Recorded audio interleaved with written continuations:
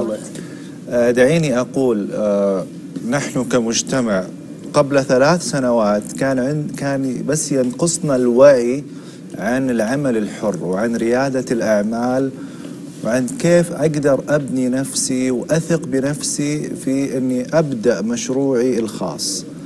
كانت كل تأمل الشباب أني أنا أكون في وظيفة حكومية وراتبي مضمون ومستقبلي مضمون وتقاعدي مضمون. لكن هذا شيء غلط. أكثر الشباب وأكثر الموظفين من يعمل في اليوم ثمان ساعات فقط لأجل هذا الراتب لن يصبح غني في حياته.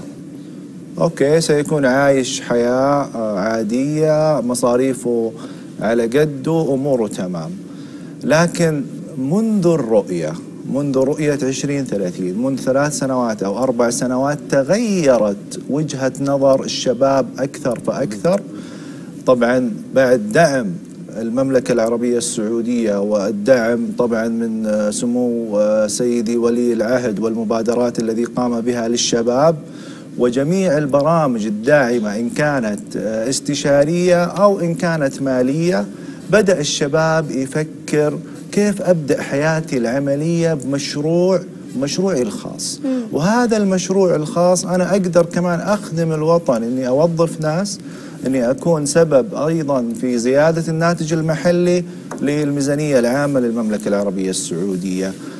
طبعا تحفيز الشباب واللي شفناه في الثلاث سنوات الأخيرة وفي جميع مناطق المملكة آه، وإمارات المناطق في المملكة العربية السعودية ودعم الشباب كل أحد ماذا يحب؟ ماذا تريد أن تعمل؟ فقط أعطينا الفكرة نعم. ونحن سنساعدك في أول شيء كيف نوجهك آه، تبدأ هذا المشروع. الشيء الثاني إذا احتجت تمويل هناك لستة جهات كبيرة تحت هيئة المشاريع المتوسطة والصغيرة آه، آه، آه، ساعدت جميع الشباب وأيضا ساعدتهم في الإدارة وساعدتهم في بناء المشروع وستكون هذه المبالغ مقسطة في السنوات القادمة من الأرباح بأجزاء جدا بسيطة وهذا من طور نعم. الشباب وساعد يعني مفهوم العمل الحر أيضا دكتور نعم. هل يقتصر فقط على الاستثمارات والمشاريع ولا لا حتى الحرف والمهن يعني قبل كم يوم كان عندنا ضيف نعم. كان دهان نعم. وهو شاب سعودي. يتحدث وأيضا نجار. إي وأيضا حتى ضيف آخر نجار. كان الحديث إنه الدخل الشهري أو متوسط الدخل الشهري قرابة ال 15000 ريال. ما شاء الله إي. نعم. وهذا رقم يمكن نادرا ما تحصله كبداية في أي وظيفة حكومية. ما في شك. آه، ما في شك. طبعا عندما نقول عمل حر فهو أي عمل؟ إن كان عمل من البيت تقني.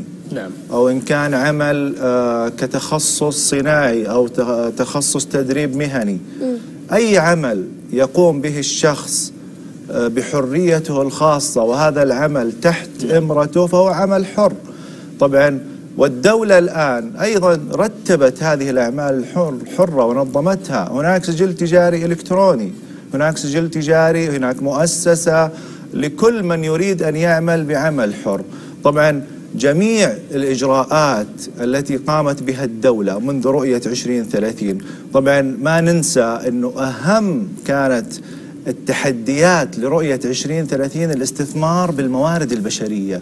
كيف يعني أستثمر بالموارد البشرية؟ مو بس أني أوظف أو أدرب. كيف أيضا أخلي الشباب يتطلعوا للمستقبل ويبنوا مؤسساتهم الخاصة وكياناتهم الخاصة؟ يعني اللي كان في قبل خمسين سنة بادئ مشروع صغير والآن صار عنده إمبراطورية. أيضا بدأ مثل أي شاب صغير الآن عنده نية يبدأ. وهذا الشاب السعودي الدهان. هذه حرفة محترمة. وكما قلنا لو اشتغل في شركة لن يزيد راتبه عن ثلاث ألاف.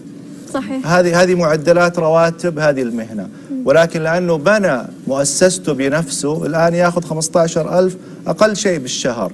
وكما قلت أخي العزيز ولسه حيتوسع. وما في شك هذه بداية. هذه بداية والمؤسسة حتصبح شركة والشركة حتصبح شركة مساهمة والأرباح حتتضخم والدولة تدعم والتسهيلات البنكية فقط لمن يريد ائتنا بالفكرة ونحن سنسهل لك كل هذه الإجراءات المستقبلية. هي فقط كانت ثقافة. طبعا بعض الناس ما عندهم جرأة باتخاذ قرارات أنه يستثمر أو يبدأ مشروعه الخاص. فيلجأ للوظيفة إن كانت في القطاع الخاص أو القطاع الحكومي لأنها مضمونة. وبعض الشباب أيضا يبدأ بوظيفة حكومية أو بقطاع خاص ومن خلال هذه الوظيفة يبدأ يبني أفكاره يبدأ ياخذ خبرته نعم ويبدأ يبدأ في مجال ياخذ خبرة لكي. يفتح عمل خاص